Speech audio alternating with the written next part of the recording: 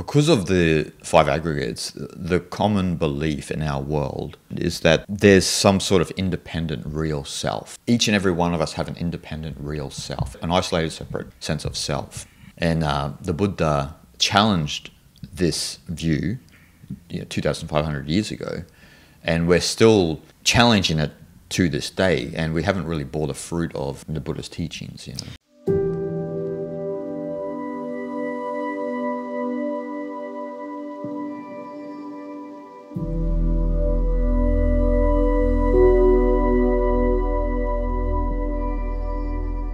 I had a conversation between two scholars, and they were saying that in uh, their study and statistically, over 90% of the world population think very much like a westernized Mm, way. mm, mm. So this independent self. Yep.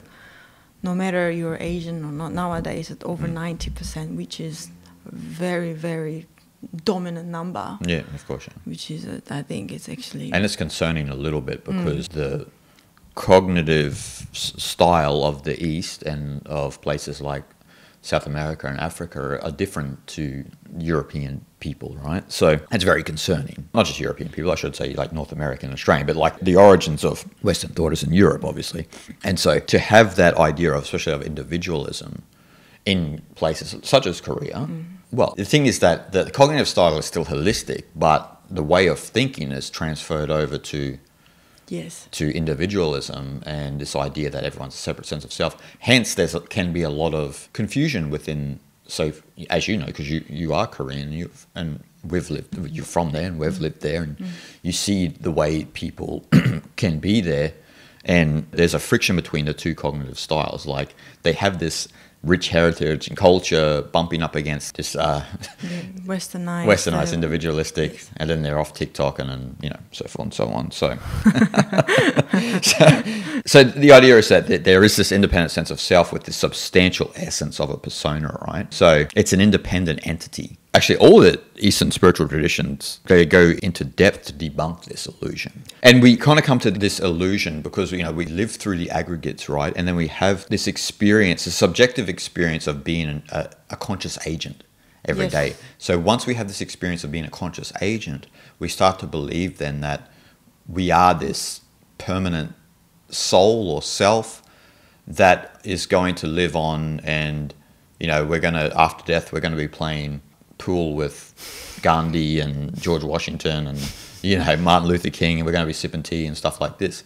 So we have all of these illusions that come from the independent sense of self. Yes. Because see you then are still going to live on after your life. You as yourself. I mean, mm. Guyang's going to be chilling with, mm. you're going to be chilling with your grandma and your great grandma, and this is all what's going to happen after your death, and Yeah. so forth and so on.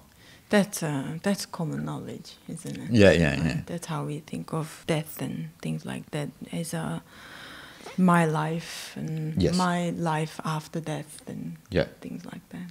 And so Buddha is challenged the idea of my life. Yes. This is my life. Yeah. Well, let's unpack that. Yeah. Because are you a product of just the five aggregates? Mm. Because the Buddhist belief that the self is is only the constituents of the five aggregates. Mm.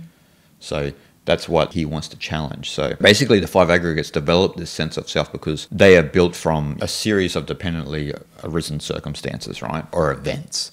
Yes. So that's how the five aggregates develop the sense of self. So we have the five aggregates as a human, and we go through life and we experience the events, as you were mentioning too, uh, about the accumulative sense of self.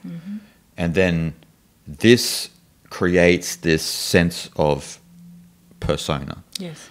But we exclude that they're all dependently arisen set of events and circumstances Hundred percent.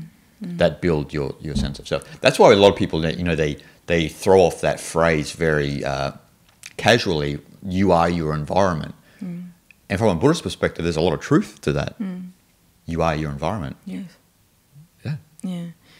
So that when you change your environment, and that environment becomes part of you as well. Exactly. Exactly. And that's why when sometimes when you also change your environment, you can feel uncomfortable in a new environment because you're used to the circumstances in the other environment. You don't have that variation that Lao Tzu was talking about where you can just be like Move through. ride like the wind. Mm, yes. You know, you, you, mm. you can't ride like the wind. So mm. people have to realize that the self does exist in Buddhism, but as the aggregates. Yes. So it's not a nihilistic tradition. It's not like, oh, it's not a fatalistic thing where, oh, what, what, we, we just don't exist. Yes. Like, no, you exist yes. to a certain degree, Yes. but not as firmly and permanently as you think. Yes. Again, the five aggregates constitutes the sense of self here, mm. and that five aggregates, once you unpacked what they are, and again, all the, these five aggregates are purely response or the reaction of a certain mm, situation or events. Yep. So that reaction creates the idea of who you are. Yes.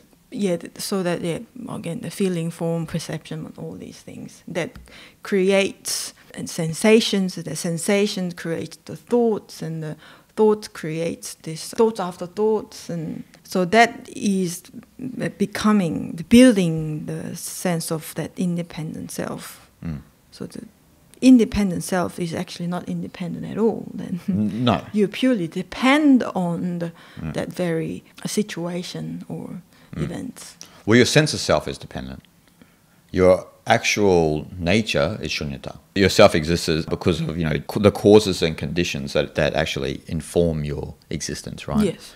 So everything you've experienced has built this sense of persona, mm-hmm. and that's what you've accumulated through your whole life. And then you say, then you say I, mm-hmm. but then you think back and you think, well, what about I at nineteen? Can mm. can I look at that I at 19 and I now is 41 and are we the same mm. person? Completely different. Mm. Completely different. And you know, psychologists talk about this a lot and this and that where even that it gets to the stage where we actually change day to day. Mm. And a lot of people actually don't want to believe that. Mm-hmm. And that's why there's a lot of research where people try to hold on to, say, their 18th sense of self. And when they're 60, there's actually, psychologists say there's actually been a lot of psychological damage from trying to hold on to like a younger version of yourself. Because in, in some sense, and this actually supports the five aggregates, hmm. you haven't actually experienced life. Hmm. You're holding on to a set of beliefs and hmm. probably where you were from from a long, long time ago. But then you move to Trinidad and Tobago, then you move to you moved to France and then Kenya, and then you're still supposed to be this guy from Queensland in Australia. I mean, I mean, you that means you would have went through your life like this and didn't see anything, didn't experience anything, Yeah, right? yeah.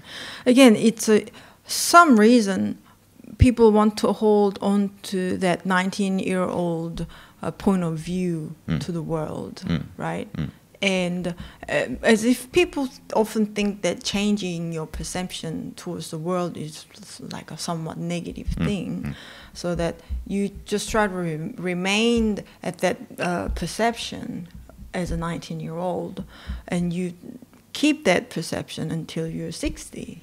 So you must have gone through a lot in life for mm. like that, yeah, if they're 40 years time, it's a long time, right? So natural progression, you're supposed to change. Yeah, Like hundred percent. other than 19 year old that's for sure Yeah. but if you were to have still have the same perception and cling on to that uh, same perception as a 19 year old when you're 60 then yeah definitely there's some sort of psychological problem going it has to be right Yeah. Like, Well, what's common in most cultures when you, and I- I've, I've witnessed this in many different cultures, and you and I are pretty well traveled, is people will often say, ah, he or she hasn't changed and it's great. hasn't changed.